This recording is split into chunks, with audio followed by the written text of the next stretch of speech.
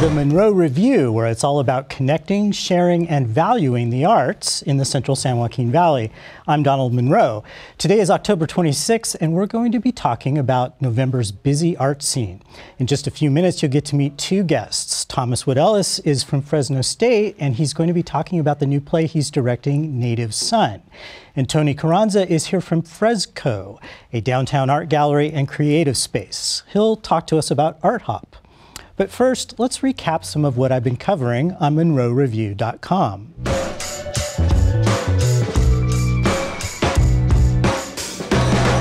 have any long running local theater productions to review for you this month, except to give another plug for Good Company Players' wonderful The Drowsy Chaperone, which continues through November 12th. But I will tell you about several prominent shows I saw that have already closed. I got the most excited about the Fresno City College production of American Idiot, which we featured on this program last month. The Broadway adaptation of the famous Green Day album boasted plenty of grit and angst in a punk rock tale of generational disaffection. Its characters fight for a chance to make a difference in a country that is embroiled in two wars, in Iraq and Afghanistan. They're upset about income inequality, and there's lots of alcohol and drug abuse. But there was also a sense of levity in this production, of fun, of getting down to a primal level and having a stomping good couple of hours in the theater. Shout outs to performances by Josh Tabor, Aaron Pierce, Marissa Sanchez, Brie Villanueva, Marcus Cardenas, Jana Price, and Dylan Hardcastle. And the creative team was first rate, from Christina McCullum's decaying Rust Belt feel of a set and throbbing lighting design to Austin Dozier's dazzling projections all around a real triumph for Fresno City's theater department. I had fun at Stageworks Fresno's production of Little Shop of Horrors. This was a chance for Abigail Nolte, a longtime theater veteran, to really make an impression as Audrey, the slightly dingy flower shop assistant who gets to sing that wonderful song, Somewhere That's Green and I loved her rendition of it. The three street urchins that are sort of the Greek chorus in the show were played with a doo-wop charm by Kendall Cowger, Caitlin Lopez, and Mackenzie Stafford. And you can't forget the man-eating plant, Audrey 2, sung with style by Will Bishop. Now, if you want to have a fun and very offbeat reading experience, check out my Advance for a Little Shop, which is still online, in which I interview the plant itself with Bishop and Logan Cooley pretending to be a cranky plant actor. Only on MunroReview.com. A few other things you may, might have missed. I was able to review Rei Hotoda's inaugural performance as the Fresno Philharmonic's new music director. This was a concert few people will forget. She opened the program with a rather daring contemporary piece titled New Era Dance that signaled her intention to keep this orchestra firmly in a new century alongside playing the classics. I loved the way she ended the concert with a dramatic stance. Her left arm was raised high in a power salute with her baton pointed skyward. Her other arm was at rest by her side, creating an elegant asymmetry. It was a graceful yet assertive posture to end on, a, a, follow me pose, as if to say, I'm here to lead you to great things and I'm going to do it in style. A few other tidbits. Fresno will soon be saying farewell to one of its biggest art supporters. Amy Corrine will be leaving in December. She founded the Fresno Dance Collective, or NOCO, and was a tireless advocate for the arts of all kinds in the Fresno area. She's moving to Chicago to pursue new endeavors, and we'll miss her. My interview with her announcing her departure was one of my best read stories last month on the Munro Review. I got a chance to experience the new Fulton Street at the big opening party. And I got to do so with Joyce Aiken, one of the original artists who contributed to the Fulton Mall more than 50 years ago. She and I were both impressed at how nicely the art has been cleaned up and preserved, including her own mosaic benches. Now we're both just crossing our fingers the city will continue to think, keep things looking tidy. And in another very well read story, Children's Musical Theater Works is going to have to find a new place to perform, and if they can't find one, the company might have to close. That comes as the city of Fresno announces that Veterans Memorial Auditorium needs extensive safety repairs, and the budget won't allow for fixes. This is an ongoing story, I believe, and we'll see if CMT is able to rally the community to get some answers about what's next. I'll keep you posted. Now let's move on to meet our guests. I'm joined today First, by Fresno State's Thomas Whit Ellis, a longtime director and faculty member there. He's here to talk about the intriguing new adaptation of Native Son. First, we're going to check out a video clip. Hey. Dead. And I killed her? And I killed her. No, no. A rich white girl. no. Huh? Who's the right son of a bitch now, huh? Huh? Yeah. Huh? Yeah. All right, You right. stop, Yes, sir. stop it. Huh? Who you Stop think you are? You also got a knack for numbers. You could. I can run numbers. Big look. I can organize them. And I, I can No, split them up. no, no, no, no, no. Something better. Negro leaders ain't worth shit. Uh, Negro leaders ain't oh, worth man, don't tell her that. No, ma'am. Oh. Well, the relief said, like most black boys, you were in reform school and always in trouble. Come on, Bigger.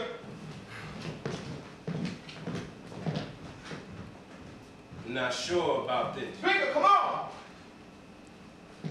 Let's go. Oh, we seem strange to you, don't we, Bigger? Hell yeah. Nope. No, not at all. You don't seem strange at all, man. Coming for to carry me home.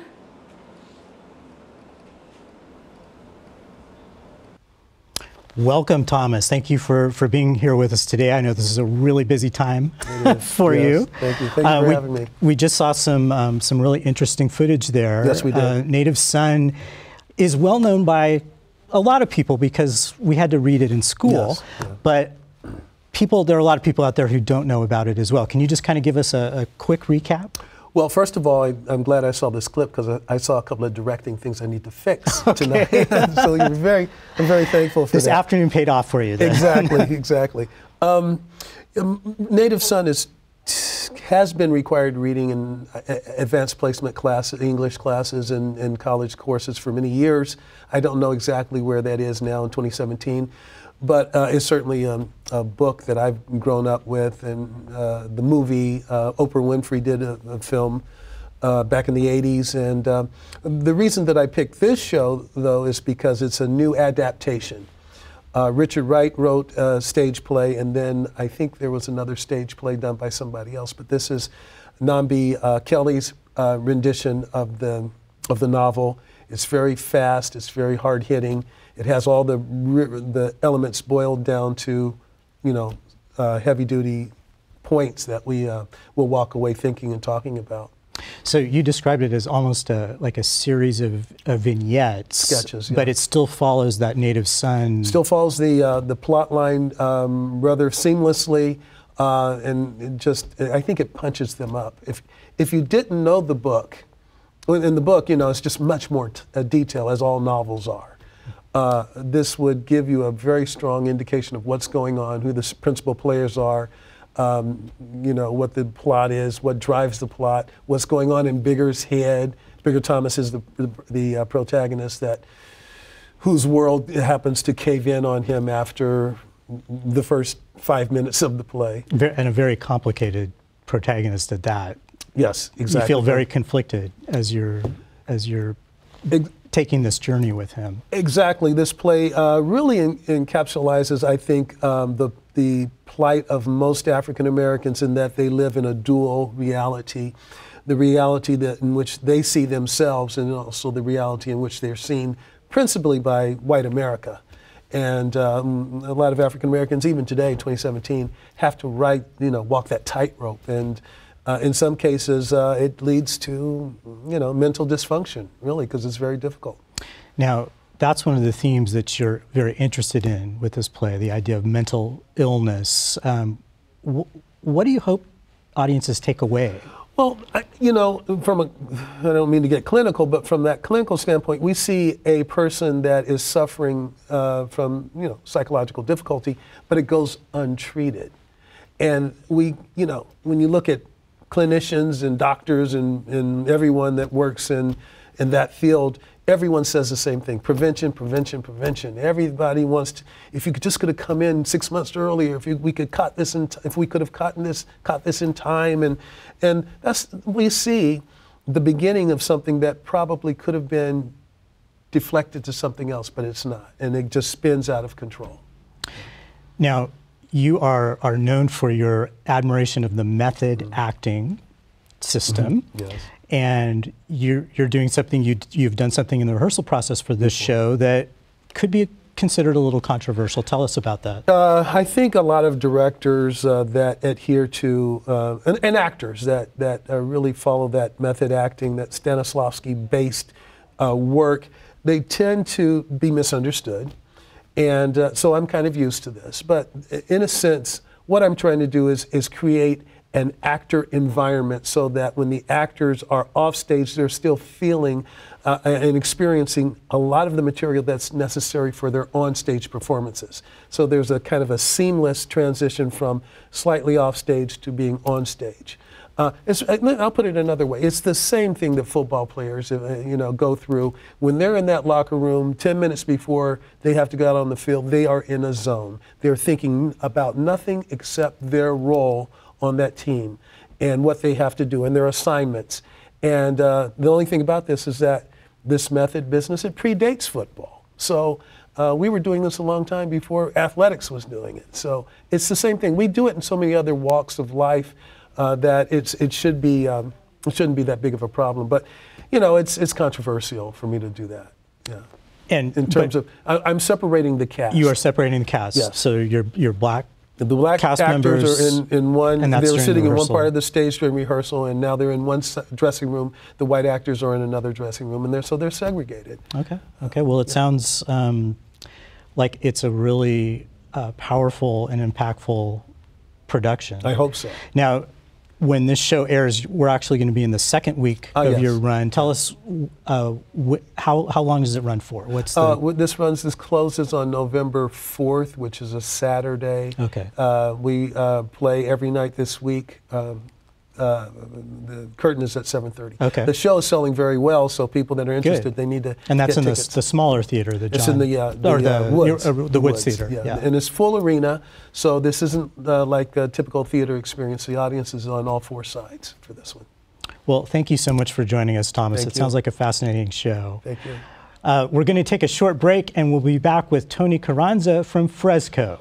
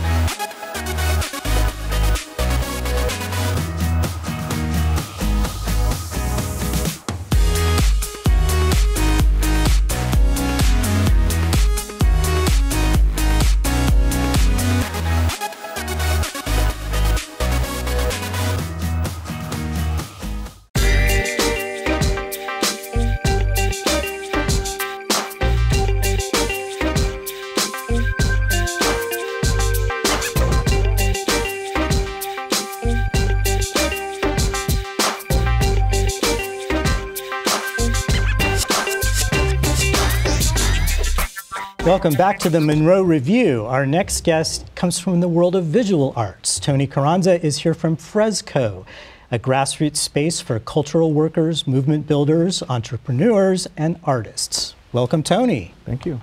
Now, I have been to your space. It's a, a vibrant, uh, creative place, very bright, lots of color, lots of, lots of energy. Um, tell us a little bit about Fresco and when did it start and how did it come to being? Yeah, we uh, we've only been around for about a year.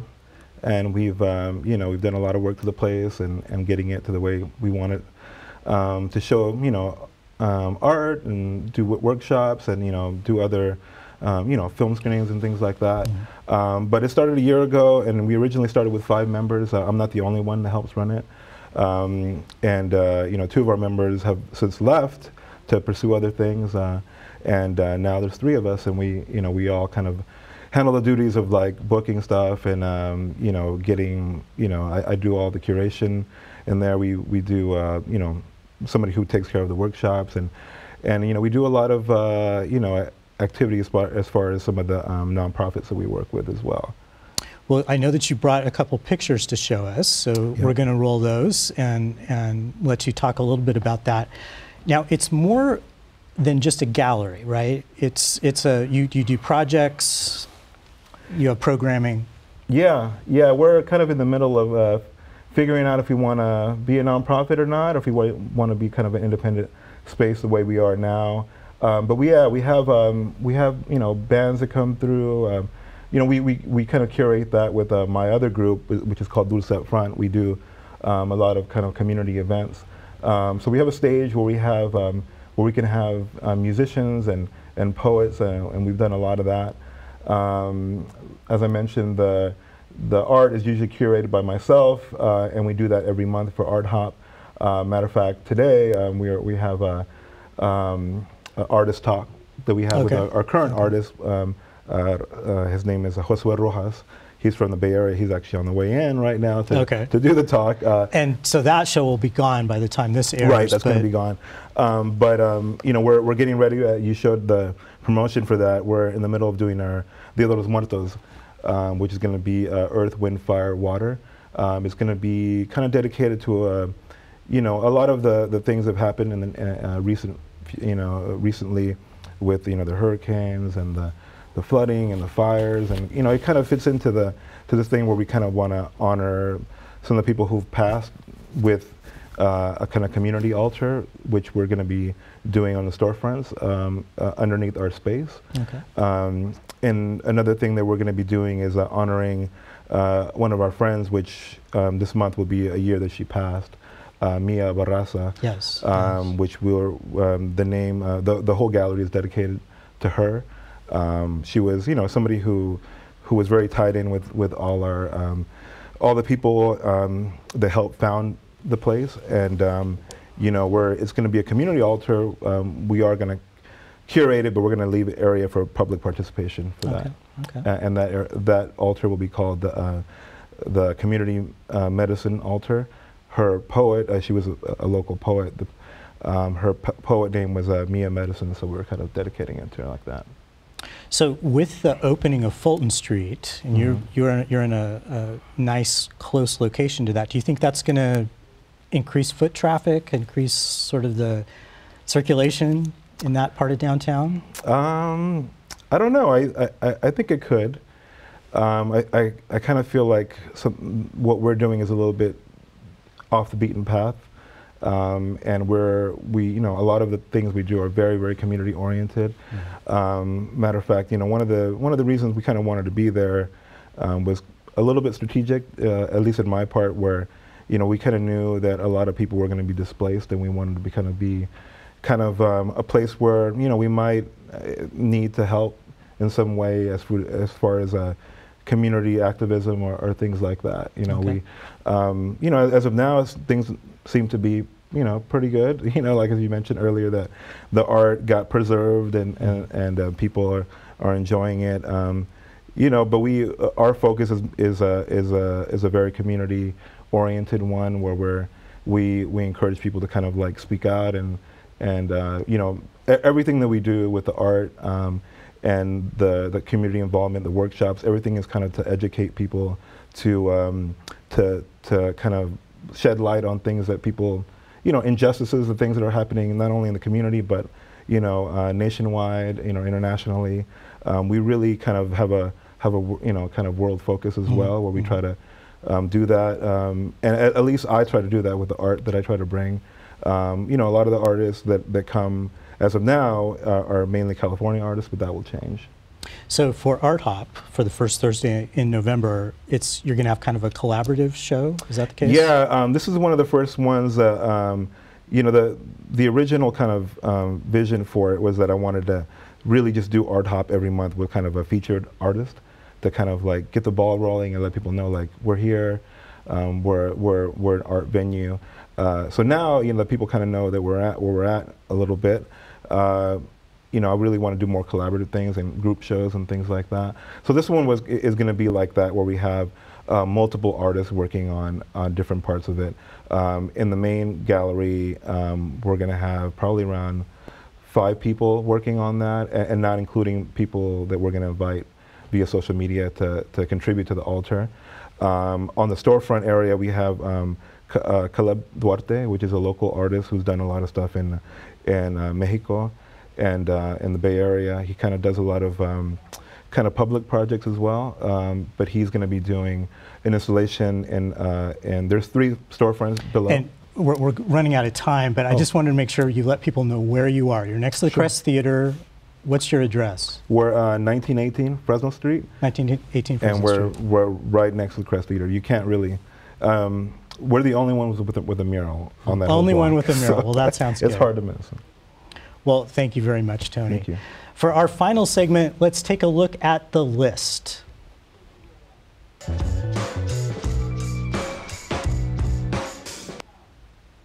It's going to be a busy month, and here are some of the events I'm looking forward to. If you haven't had a chance to catch artist Joan Schultz's show at the Fresno Art Museum, you might think about heading out to her Art in the Afternoon lecture on Thursday afternoon, November 2nd at the museum. Schultz is, is the Council of 100 Distinguished Women Artists for 2017, and you can read my profile of her on munroreview.com. Tony, do you ever get a chance to get out to the museum and, and check it out? Yeah, I do every now and Yeah, then. Yeah, it's a, Mhm. it, I tell people it's a, it's an important place to, to Yeah. go and to, and to support. For sure. Um, some people say, oh, it's out in the middle of nowhere. I can't, it's not close to anything, but sometimes you have to make that effort, so. Absolutely. Uh, moving on, the Lively Arts Foundation presents the New York City dance company Ballet Hispanico. This company celebrates and explores the Latino heritage and its multiple Latin cultures through a bold and eclectic brand of contemporary dance. I know that the Lively Arts artistic director, Diane Mosier, has been trying to book this company for several years. So this is a coup for Fresno. The performance is Saturday, November 4th at the Saroyan Theater. Unfortunately, that, I'm sure Thomas that, that conflicts with your final that, performance, but it's nice to see this this this, this, yeah, caliber all of- happening in Fresno. all happening in Fresno, right? Yeah. The Fresno Philharmonic is back with its second Masterworks concert of the season, with Rei Hotoda conducting. The guest soloist is pianist Orion Weiss, who's been here before, and he's an incredible player. The orchestra will also be playing the famous Beethoven Fifth Symphony. So if you're not even a classical music fan, you, you, everyone knows that one. So, can enjoy so you can you can head down there for that. There's lots and lots of local theater in November. Fresno City College opens the play Silent Sky, the story of a group of women astronomers on Friday, November 10th. On that same day, the College of the Sequoias in Visalia opens the brazen rock musical Bloody Bloody Andrew Jackson, a local premiere. Good Company Players opens two holiday shows A Christmas Carol on Thursday, November 2nd at the Second Space Theater, and Breaking Up is Hard to Do, the Neil Sedaka jukebox musical and that's Thursday, November 16th at Roger Rocka's Dinner Theater. And the next day, on Friday, November 17th, the Selma Arts Center launches its big production of The Hunchback of Notre Dame. Let's give a nod to the Fresno Master Chorale, which will perform what I'm sure will be a poignant concert titled Remembrance and Healing, with one piece about the incarceration of ethnic Japanese in internment camps during World War II. That concert is Sunday, November 19th at the Shaghoian Concert Hall. And finally, our next Broadway in Fresno offering will come through town at the end of the month. The Tony Award winning A Gentleman's Guide to Love and Murder. It's a very funny and very clever show, which opens Tuesday, November 28th at the Saroyan Theater. And that's a show that uh, probably would never have come to Fresno except for the fact that it won the Tony Award. So, Well, that wraps it up for this month's episode of the Munro Review. A big thank you to our volunteer crew, and thanks again to our guests Thomas Whit, Ellis and Tony Carranza. You both do a lot for the local cultural scene, and we're so glad that you were able to be here. Thank you, Thank Don. you. And thank you for joining us. We'll see you next time.